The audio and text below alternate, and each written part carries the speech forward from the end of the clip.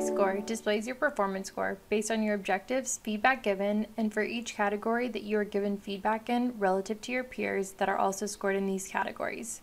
It also displays your overall performance score. To view the My Performance Score page, first log into your organization's Manage for Performance application. Once logged in, you'll find My Score at the top of the dashboard. Here, you will see your overall performance score and your score in each category that you are scored in dating back 30 days. You can also view your scores on the responsive circle graph. As you scroll over the circle graph, each color represents a different category and your performance score will appear in the center of the graph.